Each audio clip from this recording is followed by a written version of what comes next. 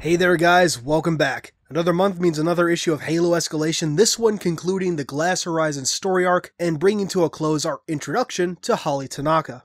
There are a few interesting revelations, and before we dive into it, I'm just going to say, called it. Uh, well, some of it. This is Halo Escalation, issue 18. Naturally, the issue picks up where the last one left off.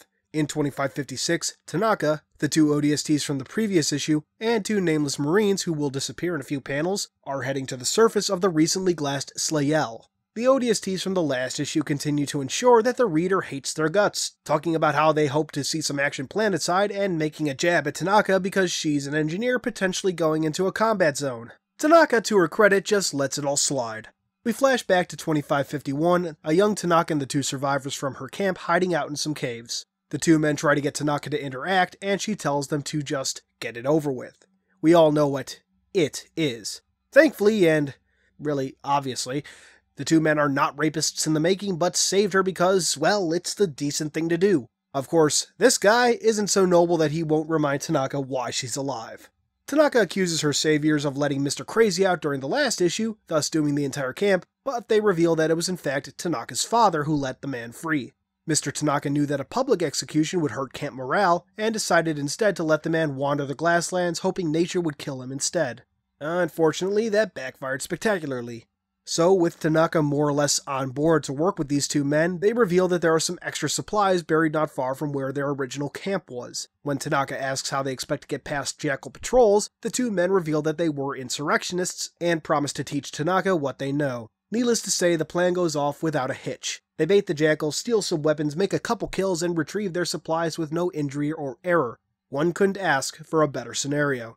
Briefly jumping forward to 2556, Tanaka and company discover the beacon that attracted their attention in the first place, and not far away, a recently dead body with plasma damage. Score one for Tanaka. Sort of. Once again, back in 2551, everything the group needs is secure and they prepare to head out. Tanaka, though, wants to head back to their original camp to check for survivors, namely her father, but the other two basically say no. Because, well, even as they point out, there's no way they're going to get that lucky twice in a row. Tanaka tries to insist with her shotgun, but the men insist harder. They then set out, hoping to find other survivor camps. We jump forward again to 2556 as the group comes across an agricultural station that was lucky enough to survive the glassing. Mostly.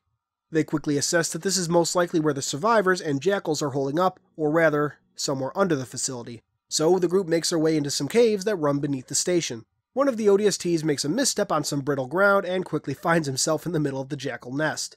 Tanaka and the other ODST not far behind.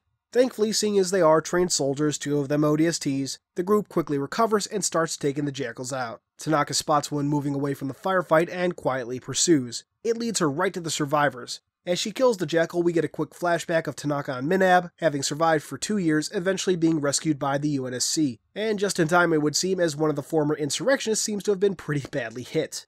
Back in 2556, Tanaka and company bring the survivors back to the Cascadia, and the captain makes a recommendation for Holly's integration into the Spartan 4 program. The comic comes to a close with a quick look at Tanaka's future art. Uh, uh, uh, wait, wait, wait, that that's the armor she'll have? Not the red suit? So, so if Tanaka's the tan Spartan, who are the other two? The red Spartan very clearly is female. Look at her. Could this mean that Macer actually did make it into the Spartan 4 program? Or is this another female Spartan we might be familiar with? Or, hell, a new Spartan altogether? And then who the hell is ODST Helmet over here? I can't believe it's Buck if Romeo isn't on Locke's team. As I said in my video about the Halo 5 cover art, there's no way they'd ever split up Buck and Romeo, especially after the events of Halo New Blood, and I doubt they'd have another new character. Perhaps Spartan Thorne joins the group. Spartan Ops was mainly about Thorne, at least in the cinematics, and the bonus items included with Halo 4's limited edition were his. So maybe 343 is finally trying to push Thorne as a main character, of sorts. Hopefully we'll learn the identities of Locke's team within the next few weeks. E3 isn't too far off after all.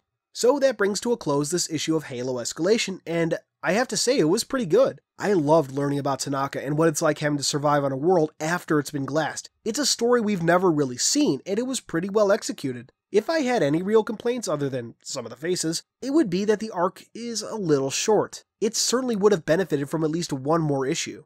Still, this minor complaint aside, the arc was overall great, especially for something that was only two issues. Before we go, let's take a look forward. The cover art and description of Halo Escalation number 21 were recently revealed, and the latter discloses two key points. The first is that the Absolute Record story arc will be six issues long. Not only is that the longest arc to date, that also means there's potential for some major revelations along the way. This also means the arc will conclude in November of this year, just a month after Halo 5 comes out. The second point revealed is this mention of a powerful new combatant. Who or what could it be? A Guardian? The Didact? The Flood? The Forerunner? Something new entirely? There are so many possibilities, and all of them have me excited. Finally, take a look at the cover itself. The Spartan right at the center. Looks a lot like Tanaka, doesn't it? I don't know about you, but everything about this next story arc has me ecstatic. Anyway, that about wraps things up for this issue. Next month we'll begin the Absolute Record story arc, and I really, really can't wait. Thanks for joining me as always, and until next time, this has been Halo Canon. Hey guys, thanks for watching my video. It means more than I can express in a few minutes of audio. If you did like it, please give it a thumbs up, subscribe, share it around on whatever social media you see fit, and all that jazz. Thank you so much. Your support is everything. I would not be where I am without you. Thanks.